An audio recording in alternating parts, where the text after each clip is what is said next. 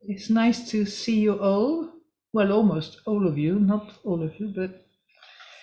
And we're going to start with um, some chanting. And the chanting is on page two here in our chanting book. It's called a dedication of offering. And please feel free to join us.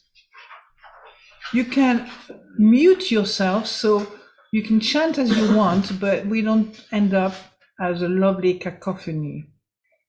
I mean, people know that it's not it's not a secret that if people not chanting together um, in in um, you know according all together, it's not so helpful because people can't hear very well the kind of chant we do. So we do the the chanting on page two and until the page um, Yoso Bhagavata Samma Sambuddho Sawakato Yena Bhagavata Dhammo Supatipanno Yasa Bhagavato Sawaka Sangho Tammayam Bhagavantam Sadamam Sasangam Imehi Sakale Yatala Alopite Abhipujayama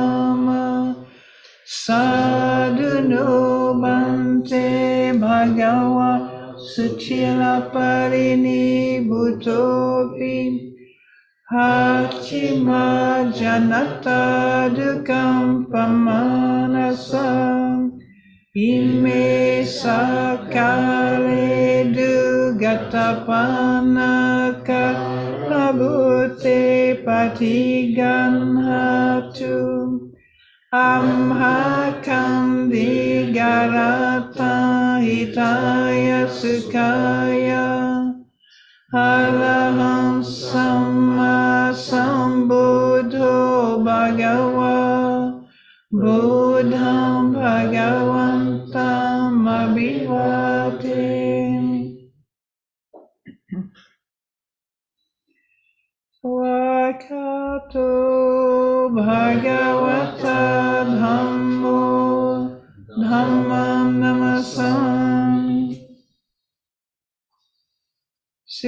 Supatipanno Bhagavato Sawaka Sangho Sangha Namami.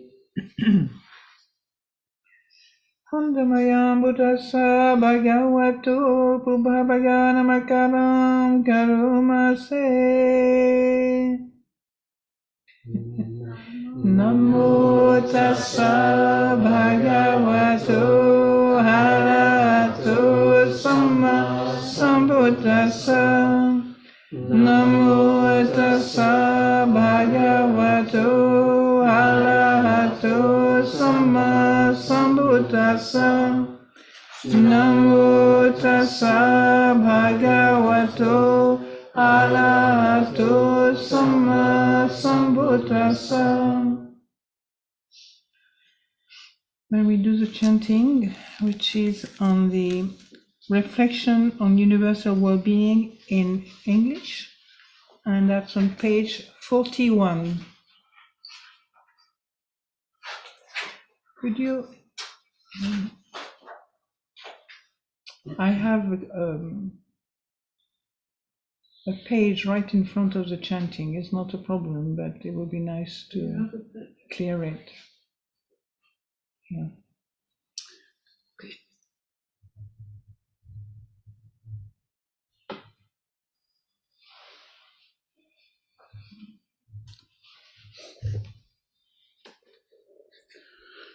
There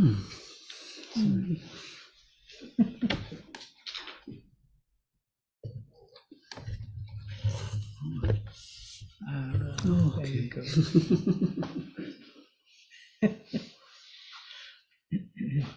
So now, now let us join the reflection on universal well-being.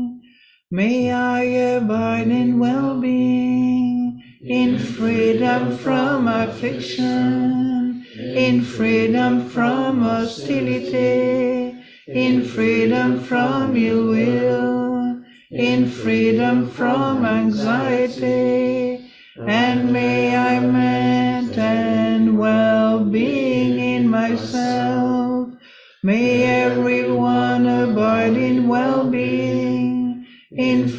freedom from hostility, in freedom from ill will, in freedom from anxiety, and may they maintain well-being in themselves.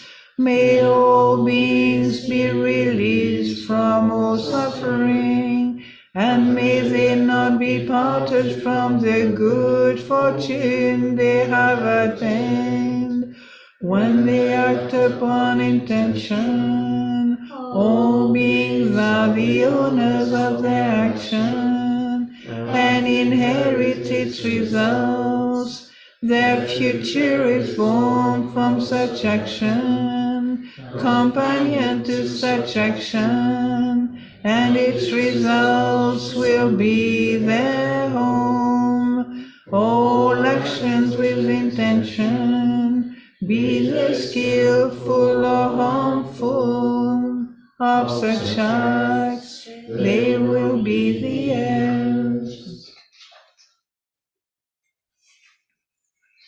So we finish with the Can we do the three refuges and take the five refuges and five precepts? we do the precept now. Yeah, yeah, yeah. No, there's a plan. plan. Yeah. So now we um actually I'm going to keep keep the, the book with me, just in case. So we do the, uh, the five precepts, for those who want to take it. Yes? It's time request. You request? So there's a request, first of all, yeah? Yeah. And the request, yeah, page one, two, six.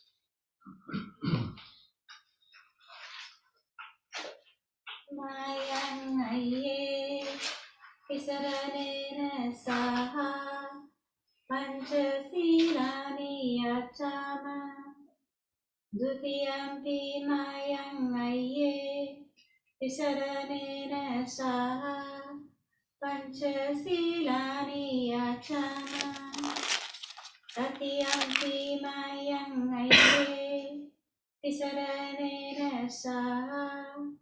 પંચશીલાની યાચામાં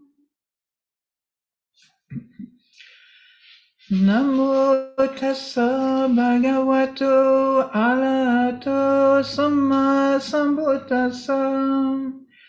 Namo tassa bhagavato arahato samma sambuddhassa. Namo tassa bhagavato arahato samma sambuddhassa.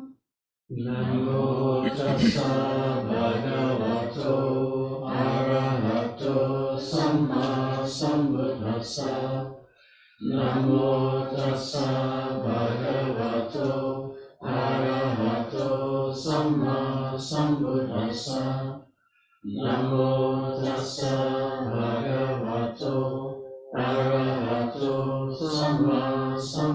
sambuddhassa. Saranam gacchami. Buddham saranam gacchami. Dhammang saranam gacchami. Dhammam saranam gacchami. Sangham saranam gacchami. Sangham saranam gacchami. Dutiyampi buddham saranam gacchami. Vidyampi Buddham saranam gacchami. Dutiyampi dhammang saranam gacchami. Vidyampi Dhammam saranam gacchami. Dutiyampi saranam gacchami. Vidyampi Sangham saranam gacchami. Tatyampi Buddhang Saranam Gacchami. Tatyampi Buddham Saranam Gacchami. Tatyampi Dhammang Saranam Gacchami. Tatyampi Dhammam Saranam Gacchami.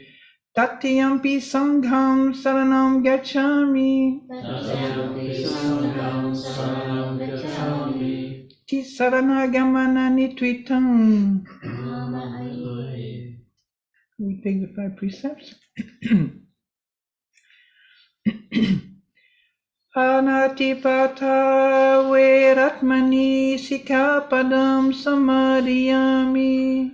Anatipata Veramani Sikkhapadam Samadhiyami. I undertake the precept to refrain from taking the life of any living creatures. I undertake the precept to refrain from taking the life of any living creature. Adinadana Veratmani Sikapadam Samadhiyami. Adinadana Veramani Sikkhapadam Samadhiyami. I undertake the precept to refrain from taking that which is not given. I undertake the precept to refrain from taking that which is not given. Kamesu michachara veratmani sikapadam samadhiyami. Kamesu mitrachara Veramani Sikkhapadam Samadhiyami. I undertake the precept to refrain from sexual misconduct. I undertake the precept to refrain from sexual misconduct. Musawada veratmani sikapadam samadhiyami. I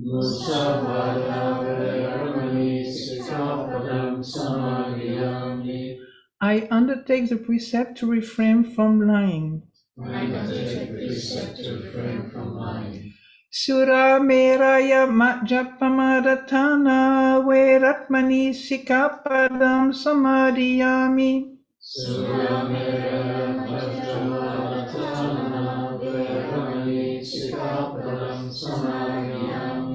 I undertake the precept to refrain from consuming intoxicating drink and drug which leads to carelessness. I undertake the precept to refrain from consuming intoxicating drink and drugs which lead to carelessness. Imani panchasika padani silena sugatinyanti silena boga sampada silena nibutinyanti tasama silam visotaye. Sadhu, sadhu, sadhu.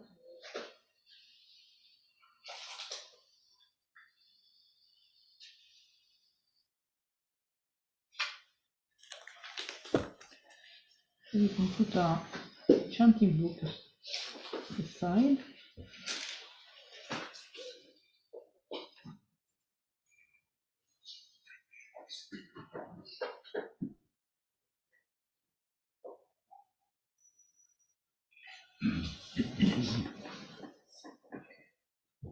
So when you prepare yourself for sitting in meditation, make sure that your spine is elongated, your chin is slightly tucked in, right? Your sitting posture is comfortable for you and you sit on the floor or you sit on a chair, make sure you feel a certain amount of comfort. You know, when you don't torture yourself in trying to go into full lotus or, you know, so just cross legged or chairs are fine. Yeah? So when we begin our practice, right, we um, can close our eyes. That's what is recommended in our tradition. You can close your eyes gently, don't force them. You can also have the eyes slightly open. Mostly, this is to stop being distracted by the external objects right now, not to be distracted by what's going on around outside yourself. So, as you close your eyes gently and you sit quietly, you will begin to feel the experience of just turning your attention inwardly. What does it feel to be sitting, to feel the body sitting.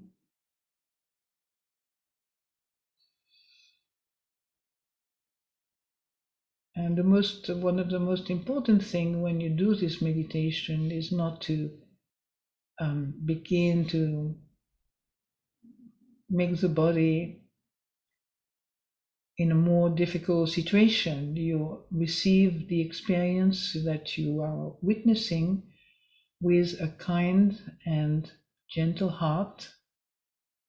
There's no pressure. We're not going anywhere.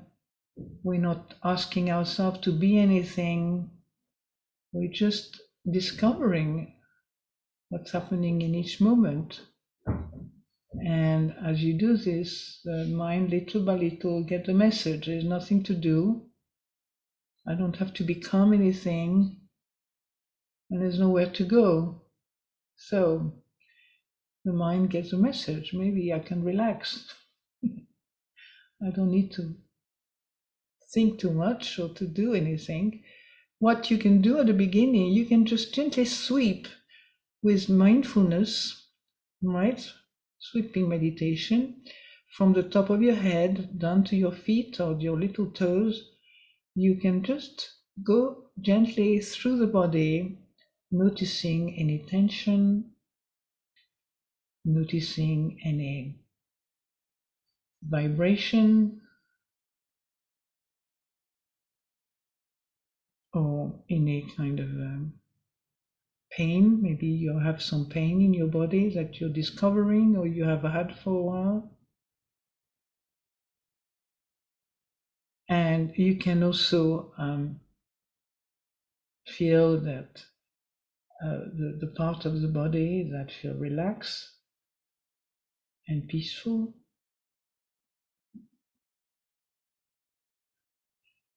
You can also feel the tension if you have any tension. So, right now, we are with a knowing mind, a mind that sees, a mind that knows, a mind that is looking at all this in a peaceful way.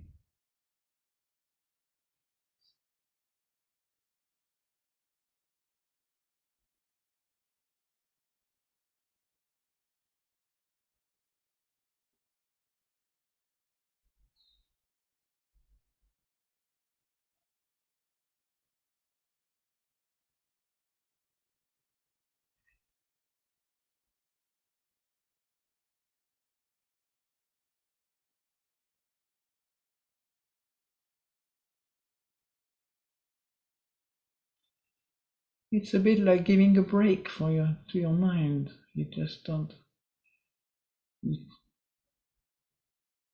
don't criticize the mind, but you don't do any of that right now. You, the idea is to be simply witnessing with a kind heart whatever is arising, whatever you are noticing as you go, as I said earlier, through the body, from the top of the head down to your feet, without hurrying, without any project or ideas of how it should be, or just as it is, to look and witness things as they are. Noticing if you have any tension around your forehead, your eyebrows, sometimes a bit tense.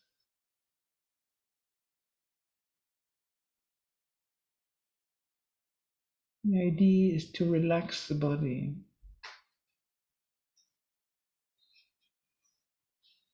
And the mind.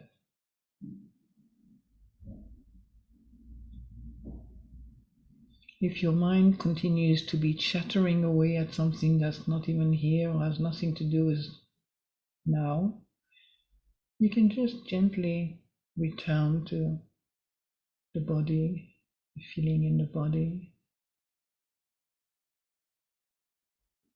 We often need to be reminded because we tend to run away with all kind of more interesting activity, like remembering what you did yesterday or what you did, what you will be doing tomorrow. So the mind think, think, think, think. there's all kind of ideas and views and so on. So, there's nothing to do, nowhere to go, you don't have to become anything right now.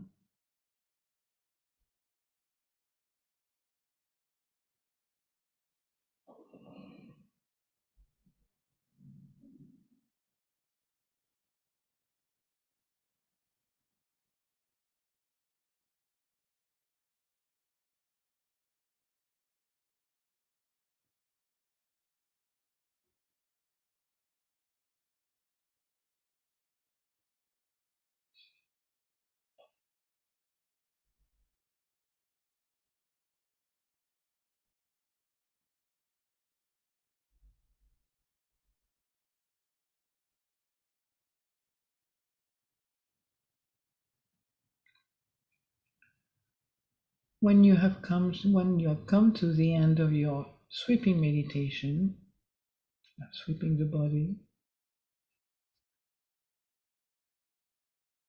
you can just continue the, the practice by experiencing what the witness what the witness aspect of your mind is you know, just seeing inwardly the thoughts that cross your mind, the idea things should be different, or the fear that you're not good enough, all kind of mind is very creative.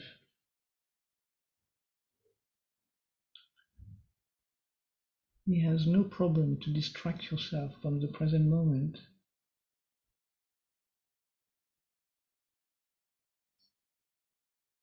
And to return to the present moment when you lost, you know, when you feel lost with all kind of other things, thinking about the future or the past. Remember, when you think about the future or the past, is simply because you have been you know you are really just following thoughts following thoughts about the past about the future. And there's nothing wrong with that. It's not judging your experience. You don't have to judge anything. But just get to know get to know what's happening and befriend it rather than hate it and think you've done something wrong. You befriend your mind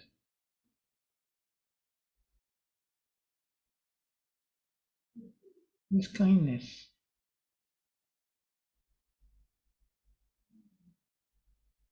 Sometimes we remember things that are very painful or very disagreeable. So that takes patience to stay with that.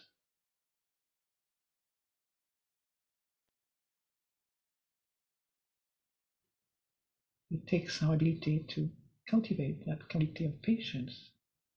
Endure things which are unpleasant when we observe our internal world, internal life.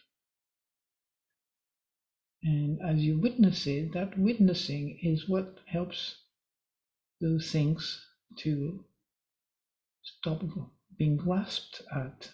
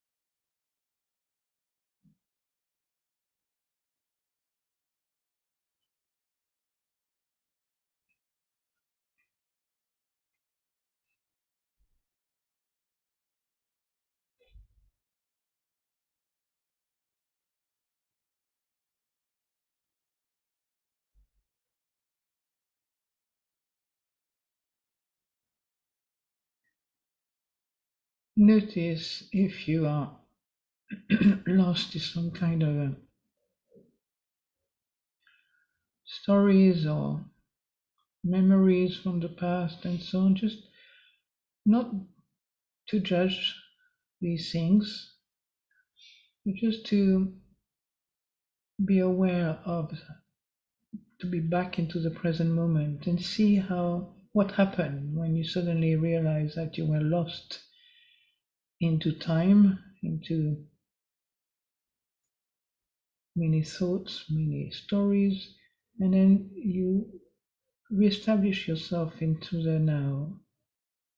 What happened? How long do these things last? Do they stay? Do they go? It's interesting to observe.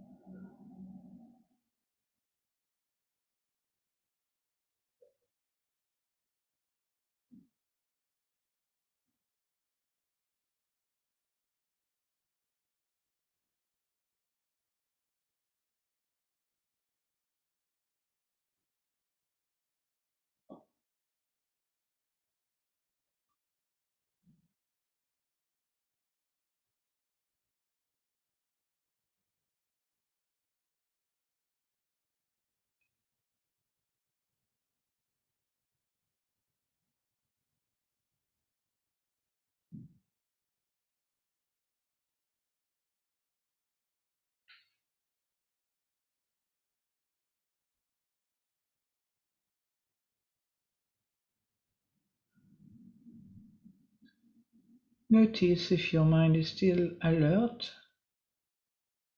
vigilant,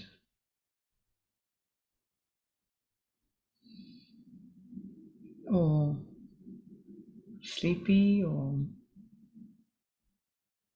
maybe tired.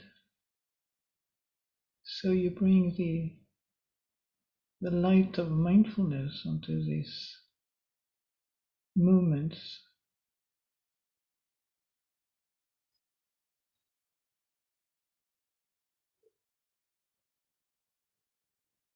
and going back into the present moment, you will see, you don't need to know in advance what happens. You will learn little by little the effect of this quality of consciousness, awareness, mindfulness.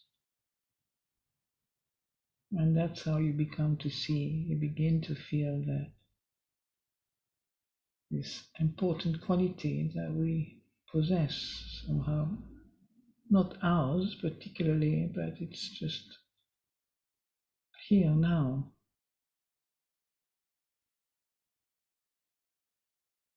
And it transforms um, life.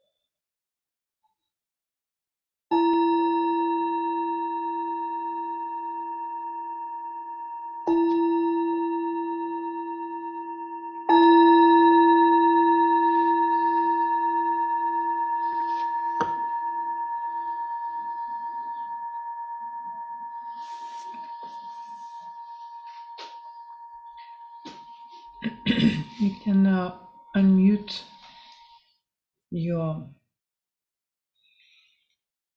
wherever you are, you can start unmuting so you can hear what I say. Can you hear me? Okay.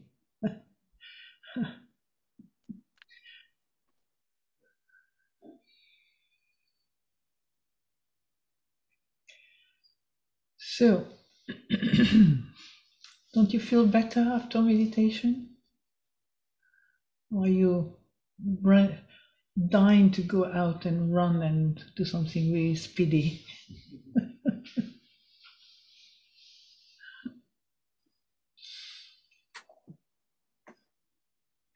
So stretch your legs a little bit.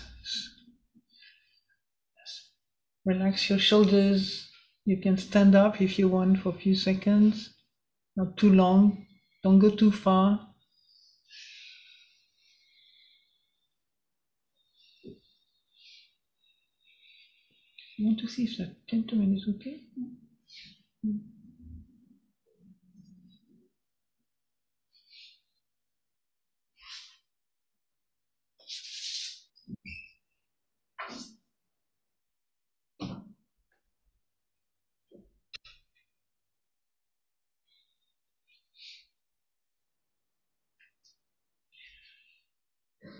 So I suggest that this session is um, we have a time for question and answer.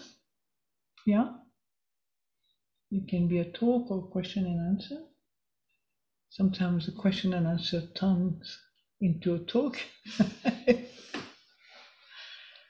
so um, please feel free to ask questions and don't feel embarrassed about your question because anything is as you know valuable even when you get it wrong or what you think you're getting wrong. So feel free please to ask questions and to maybe ask to be to have things clarified or maybe explain a little bit more or share some of the difficulties you have in your practice. So that's what I'm here for. I can, if I can help, if I can give, be of service and help you, then I'll be very happy. And if you have any question, you can put them in the chat. There's one question in the chat. Actually, maybe I should have a look at this question. There's another one.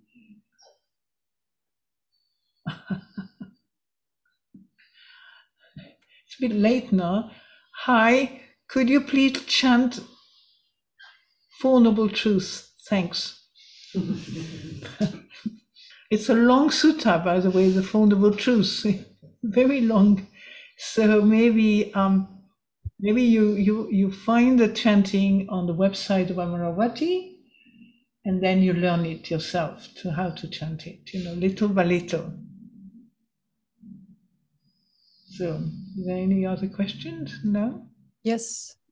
Who can see your message recording on? So that's something else. Isa is asking a question. So what is it? Why isn't it on my computer? No, Isa, some lady called Isa is asking a question. Yeah, I just Why would like, okay. I would like to ask a question. Um, Yes. Please. Hello. First of all, thank you so much for doing So where, where are you, Isa? I don't see you. Isa, I, I've put my video on, but maybe Oh yeah, yeah, that's it. Here you are. I can recognize. yeah. okay, And um, oh, it's cut off a bit. Can you hear me?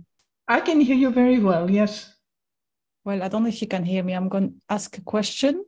yes. Basically, while I was doing the meditation yeah, for quite quite a while, yeah. Was not thinking about anything and I was in the present for quite a long time and I was thinking well I'm here and now but why are then and then my mind started to think oh I'm not hearing any thoughts or any memories and that's it I was observing that and I thought okay I'm going to observe I'm observing this this and that was it really and um, very few thoughts and memories or visual images came up. I was mainly in the here and now. So I was observing this and wondering why.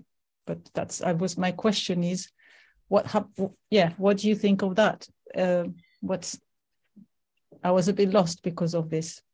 What were you observing, by the way? I didn't it wasn't clear to me. I was observing that I was in the here and now. was it new? uh, you say yeah, what what do I yeah, it was in some way. Yeah.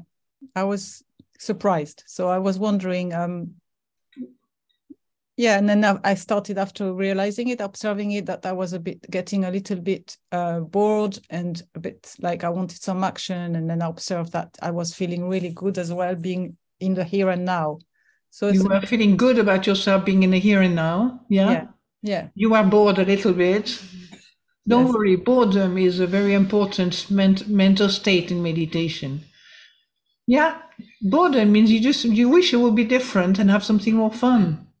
Yeah. Yeah it's called a you know it's it's a mental state which is just you want to get away from that don't you? Yes yeah yeah and the mind is very creative. He'll, he'll, he'll find you a lot of project to to escape this horrible boredom.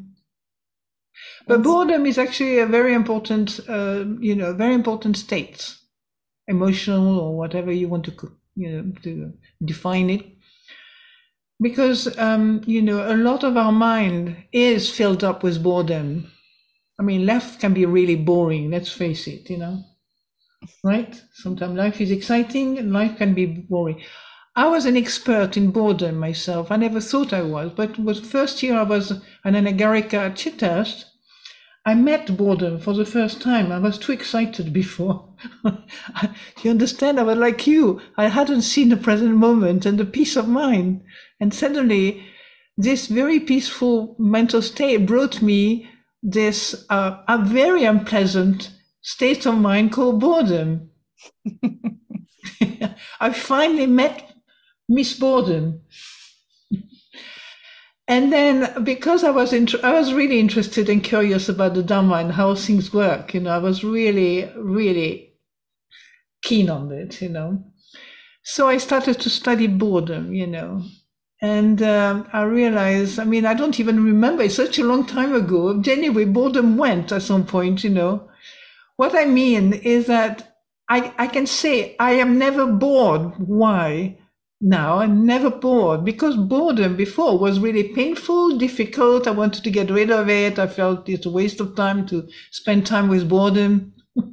Why do I have to spend time with boredom? You know, boredom. I'm boring to spend time with boredom.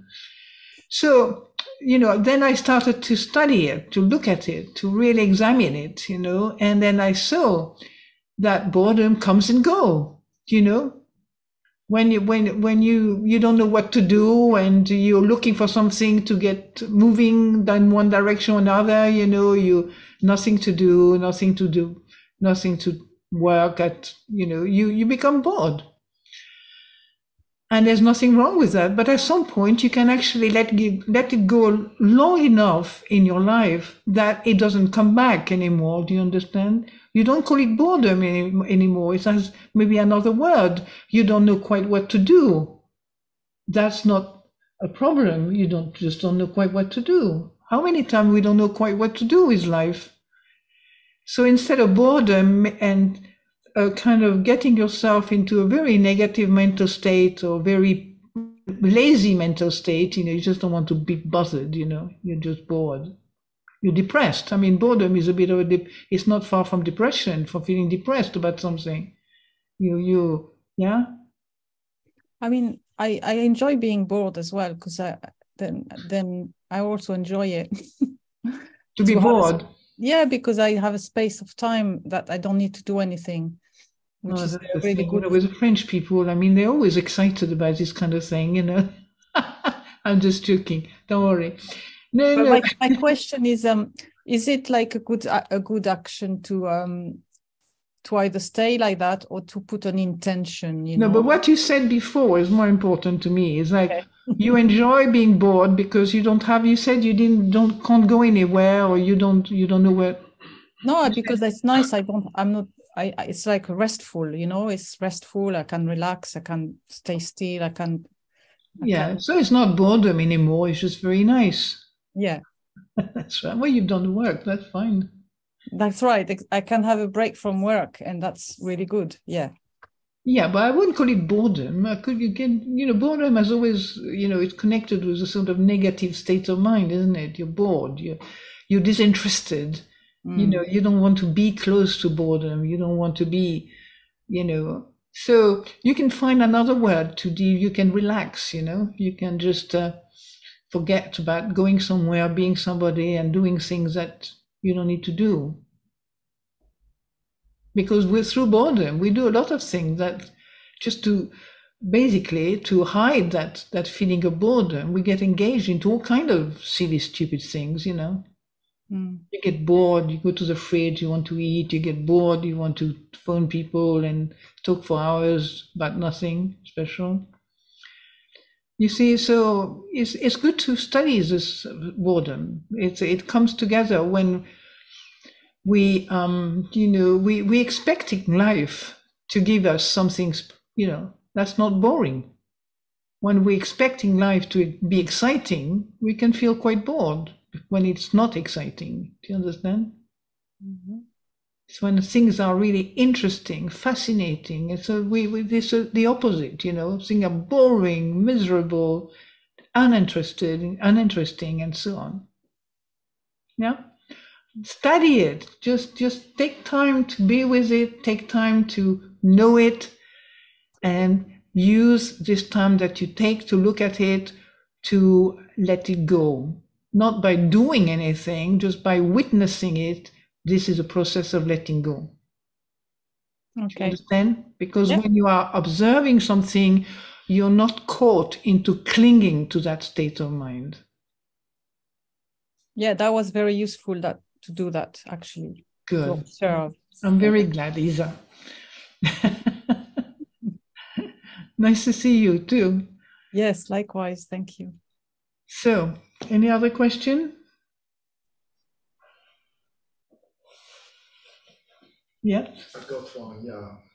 Uh, you can picture it, you know, especially someone like me, retired already, no, no real worries for tomorrow, in bed, you know, quiet enough.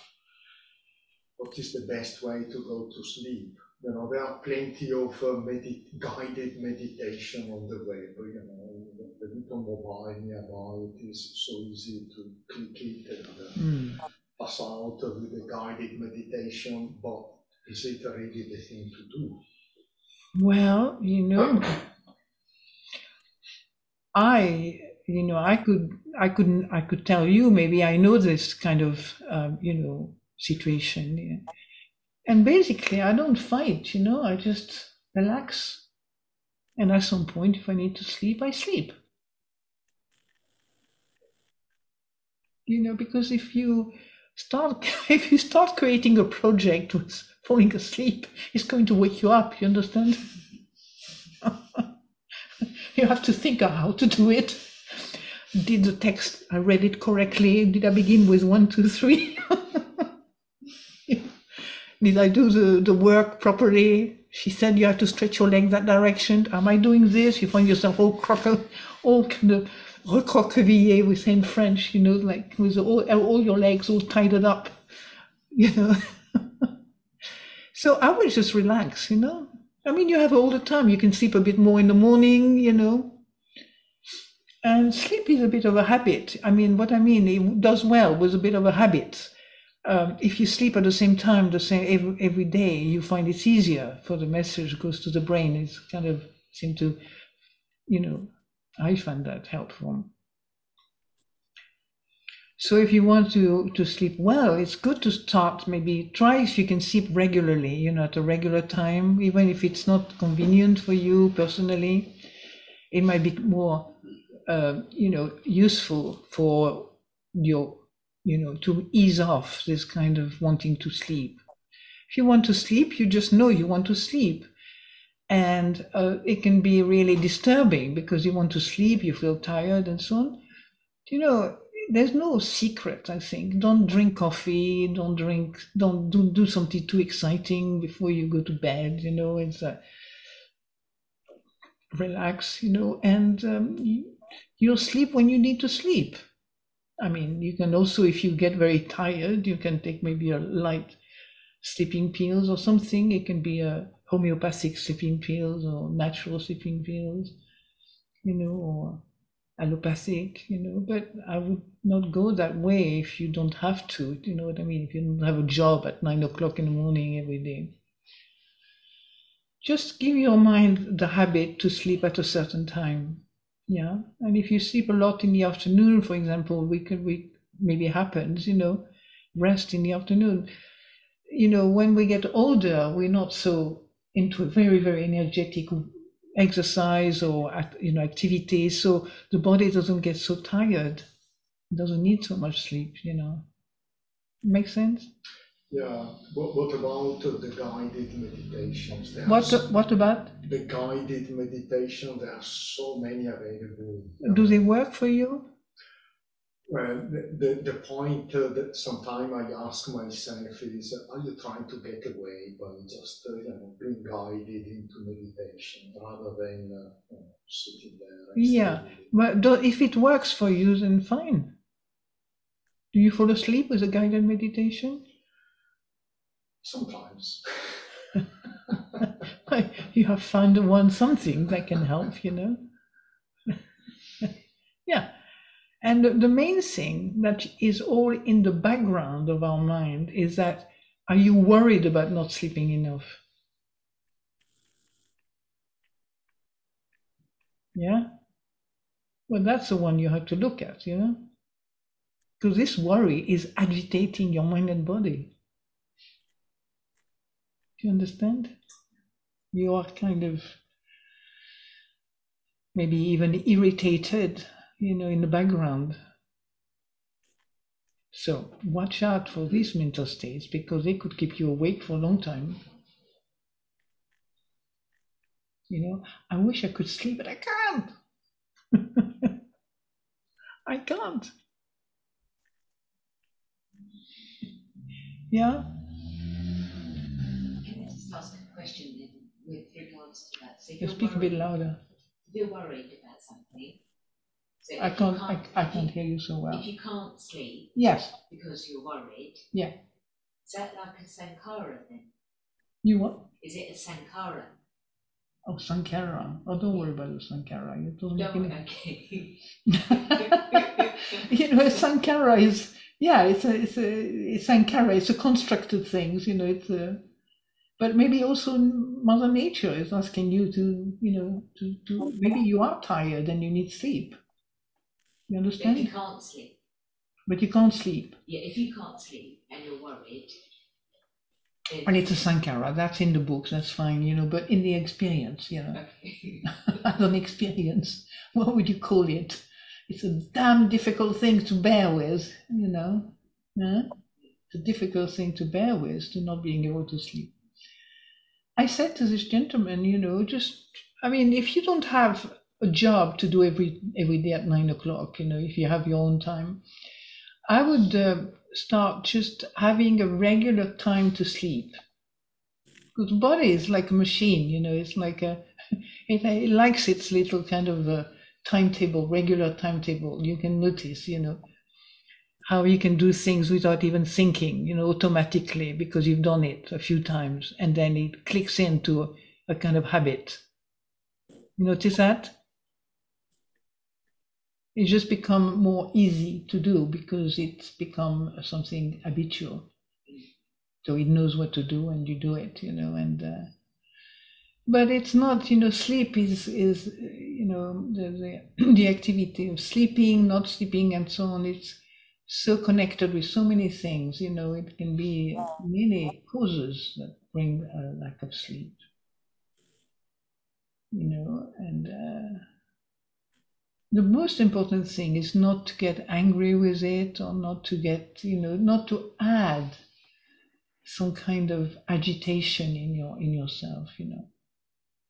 The idea, I mean, you fall asleep well when you start relaxing and uh, not minding sleeping or not sleeping, you know.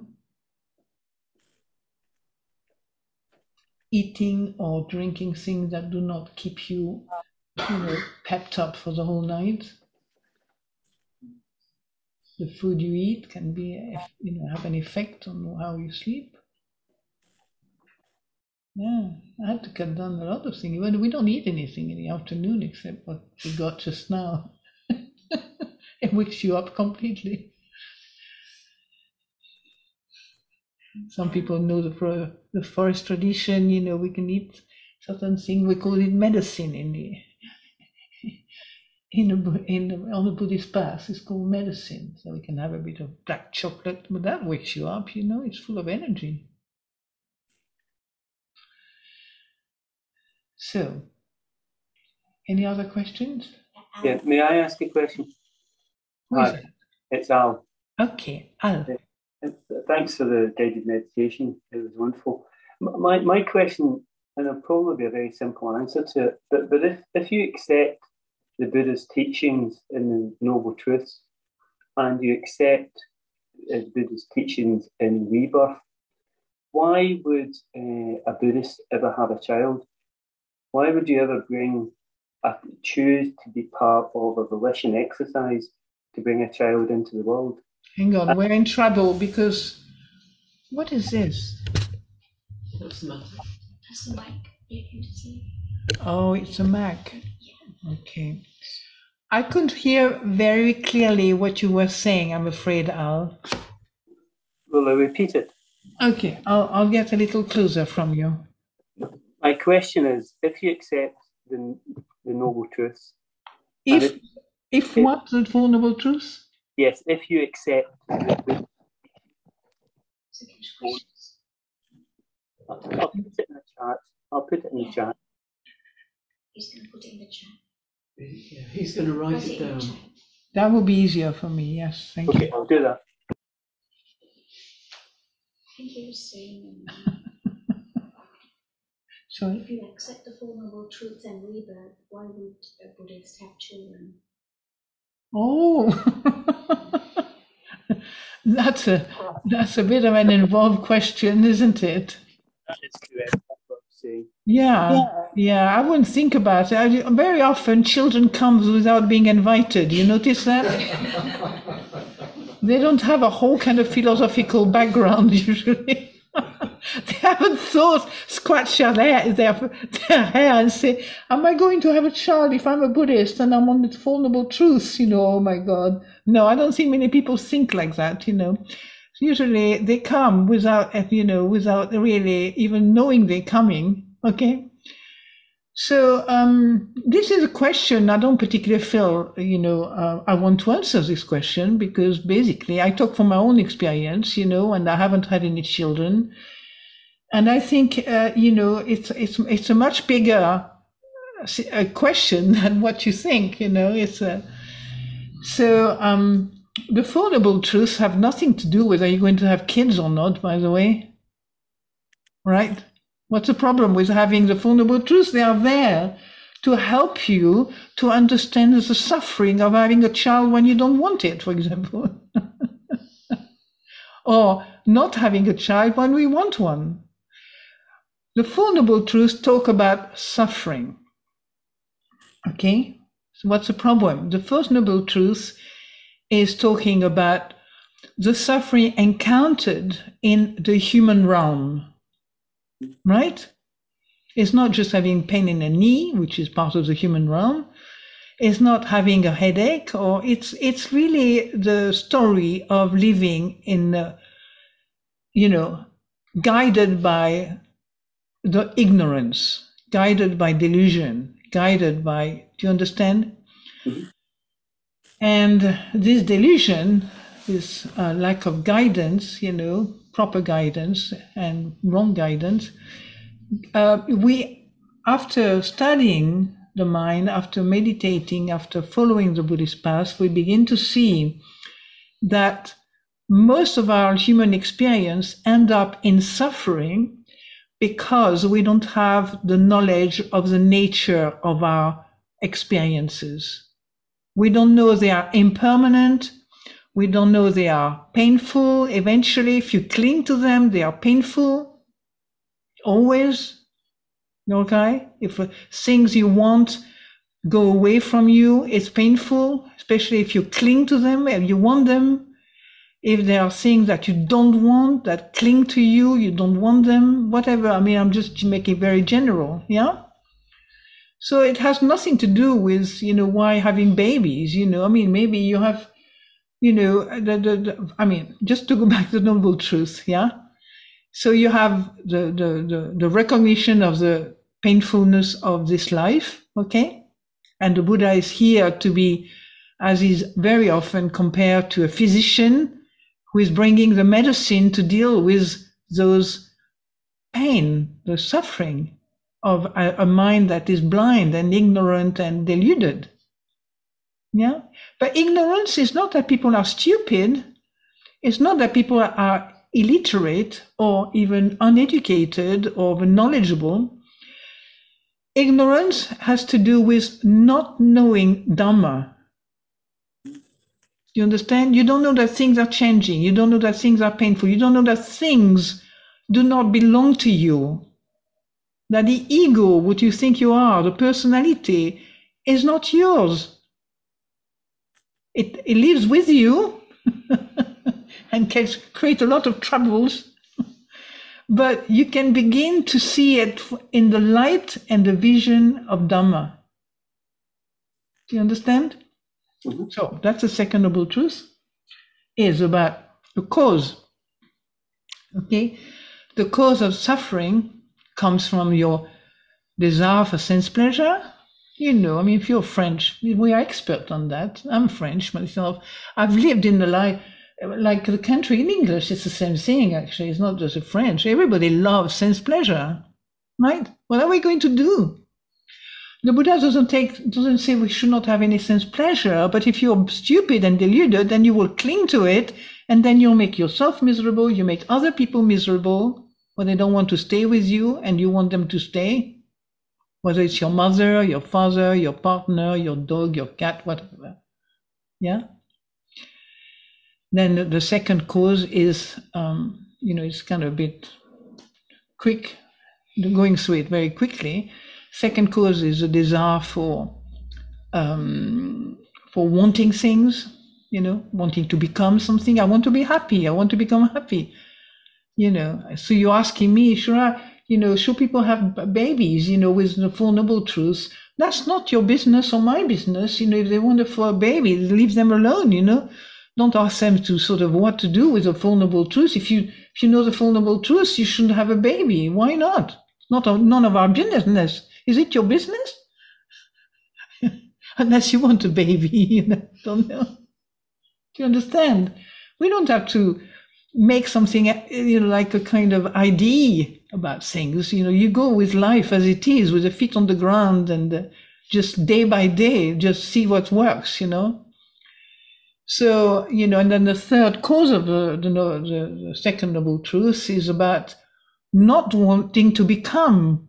So Ajahn Sumedho has always had a very easy way of explaining things. You know, so he would say sometime to make understand to make us understand you know what what that means. I mean at a, at a at a certain level he would say you know when you don't want to live anymore you get depressed. People want to kill themselves. They don't want to become anything anything.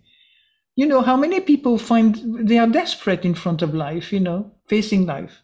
They feel a sense of desperation. They can't cope anymore you don't want to become life. You don't want to be alive anymore. That's one aspect. And but there are many. uh, You can use this for every aspect of your life. You know. You don't want to do something because you're fed up. You know. You don't want to become this person that somebody is asking you to become.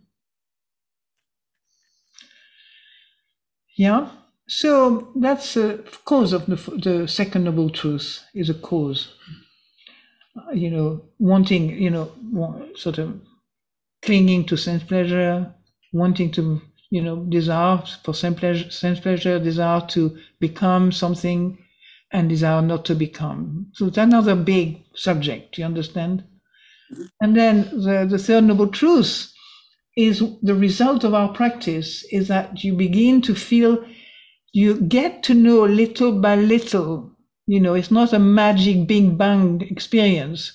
Little by little, you begin to go to, to know the state of mind, or you could say the, the, the, the ending of a state of mind, more like Nirodha. It's called Nirodha, and it means, uh, uh, you know, sort of the end, the cessation, the cessation of delusion. You can look at that very carefully during your day. You know, you look at something that bothers you, and you maybe you spend a little bit just to study it, you know, and when it ends, the feeling of ending of suffering, the feeling of ending of something that bothers you or that confuses you or whatever, you know, anything really.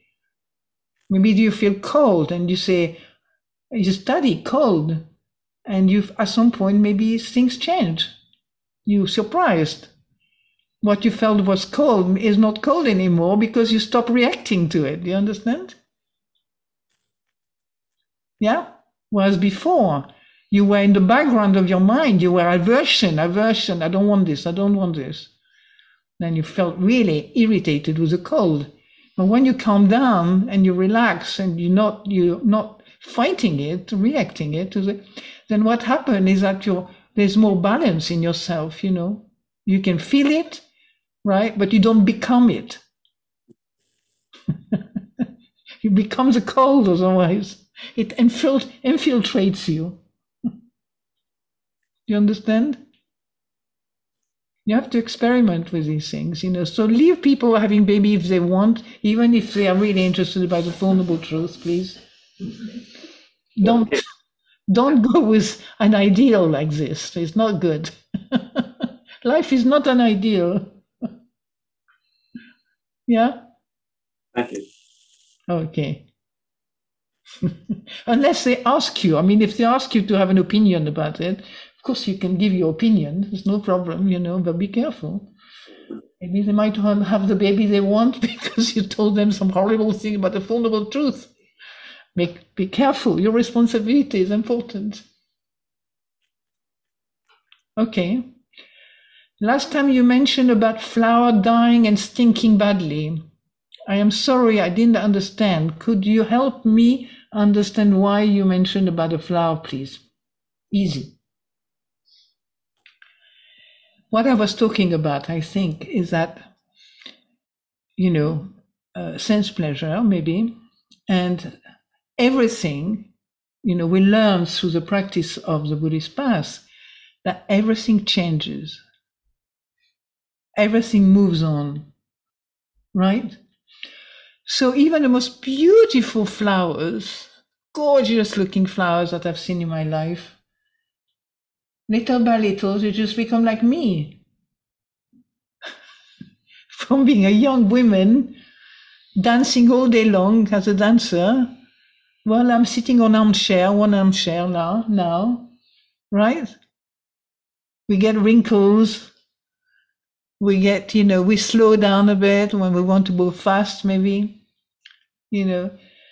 So I mentioned even beautiful flowers. At some point, when I look at my flowers, sometimes I've studied them. You know, I look at them for, I keep them there to study how they're going to die. Not that I want them to die. I still pour water on them. I still love them, send them metta and so on.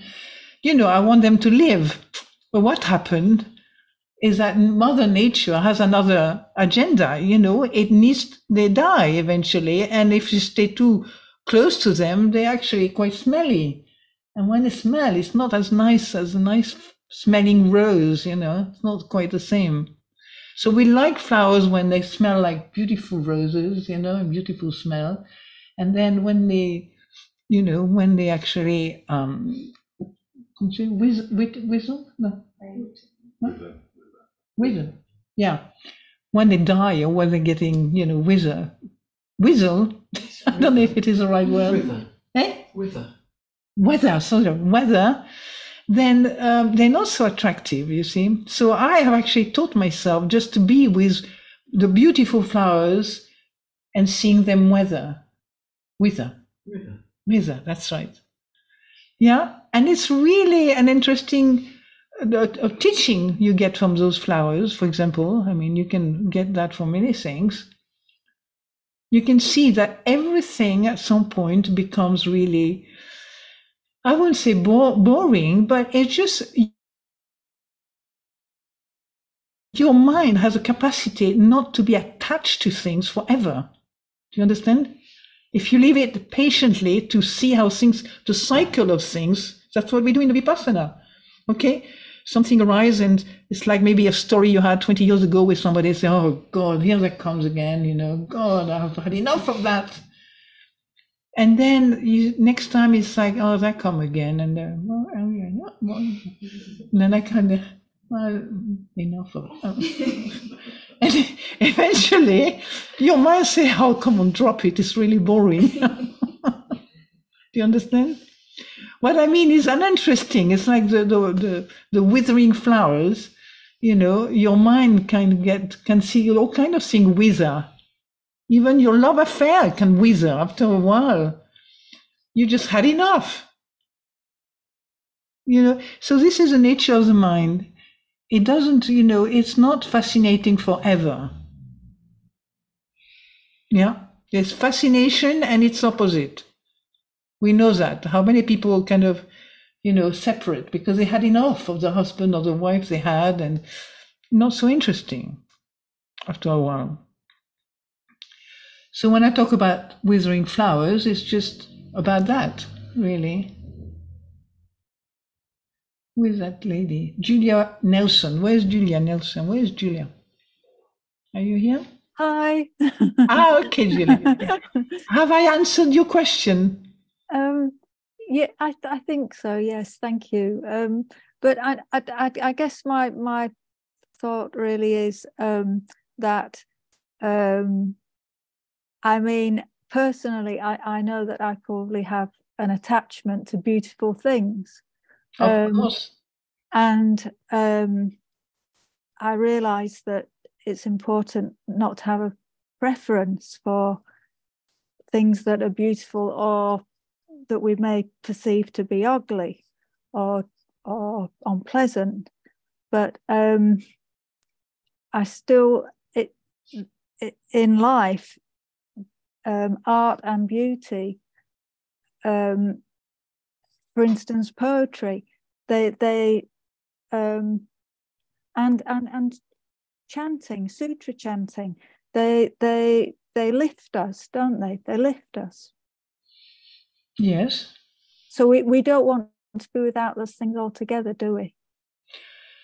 Well, you know, the tendency to think about Buddhism rather than to see and live this Buddhist path is what happened when you ask these questions, you see.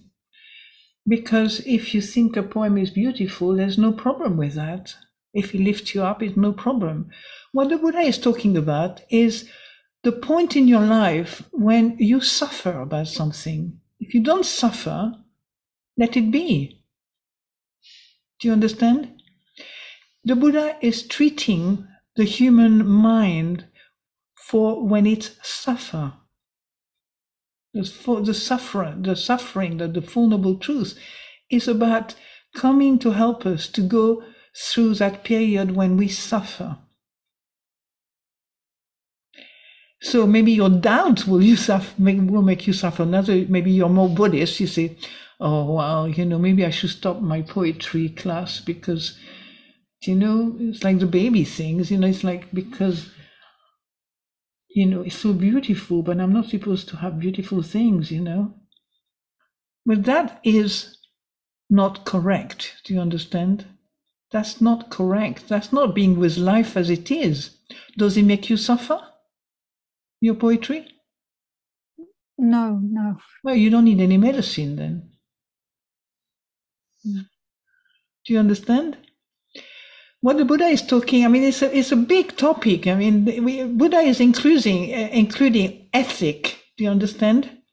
Not harming any living being, not stealing, not lying, not sexual misconduct, not taking drugs and intoxicant and so on. Do you under, that's part of the mind also. That's a big story about the mind. When you, you know, the suffering you, you that, that is caused by remorse and regret and so on, and bad behavior and hurting people and harming people. is not talking about abandoning the poem that you're reading. You understand? Yeah? We're talking about when it hurts, you have absolution through the Buddhist teaching. Do you understand? But don't go into creating suffering to make sure you're a good Buddhist. Do you understand? I, I think so, yes. So you, you pile up a lot of suffering to make sure that you're doing the right thing. But you know, the question is very good. It's not that it's a, an, you know, an, uh, not a good question. It's a good one. So somebody is that is that okay? You understand? So, for example, for me, I have limitation because I'm a Buddhist nun, so I can't do what everything I, I want. I, you know, I'm a human being can do. You know, I'm not eating in the afternoon a big meal. I, I'm I'm celibate. I am, you know, I can't do certain things. I can't, you know what I mean? I have limitation by my vinaya, my monastic discipline. But, um, you know, it doesn't mean that you have to, you know, what the Buddha is talking is not just suffering only, it's a misery of clinging to things, because that's when the harm and the pain and the destructive approach come to you, you know. If you cling to something, then you get a lot of misery because you're frightened for things to disappear. You don't, you, you become selfish, basically. Do you understand? Yeah. Mm, It's a big topic, something you study little by little. mm, thank you. You know, I, at some point, I was reading poetry too myself, and uh, I, I'm not so interested in poetry anymore because I have, you know, I, I prefer the reality of my life here now. You know, I find it much more interesting. That doesn't mean that you should not en- enjoy your poetry. Some poetry are very beautiful, you know, but there was a time when I find, I'm, I, you know, in a way, I'm at a, a stage where, you know, I find thoughts rather clumsy. it's heavy. And some thoughts are very beautiful, you know. So some words are beautiful, some poems are gorgeous. So I'm making, I'm having sign that we are getting very close to the end of this session. Unfortunately, for me, I really would like to carry on if I could, but I think we have to really be reasonable. Somebody is driving me back to Amaravati very kindly. I've got friends with me here going back to near Amaravati, and so we can do the at the end of this session we can do the um, homage to the Buddha Dhamma Sangha. Chant the homage. Yeah. So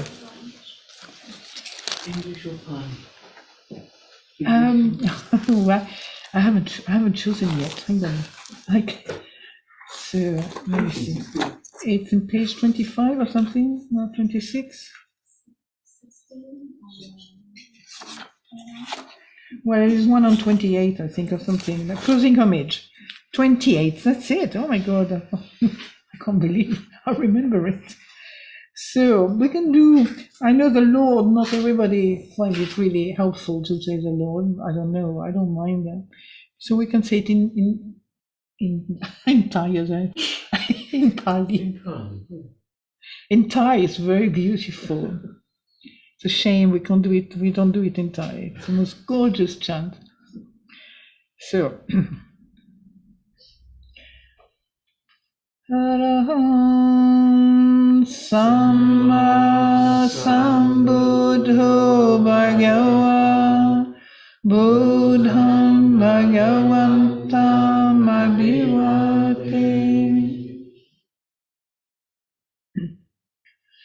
Sawakato Bhagavata Dhammo Dhammam Namasam Supatipanno Bhagavato Sawaka Sangho Sangha Namam And so we bow to the Buddha and the Buddha Dhamma Sangha.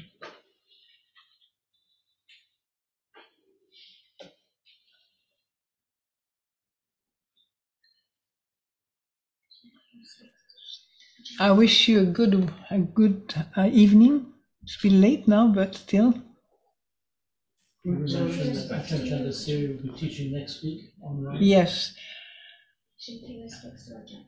So we just heard. Oh, that was a good one. I've just heard that Ajahn Chandasiri will be teaching the same class next week. That's correct. It will be online. And it will be online because and she's in Scotland. And hybrid here. In other words, it will be both here and in Scotland. That's right. It's a hybrid session like now, but as a teacher, she will be in her monastery in, in Scotland. Yes?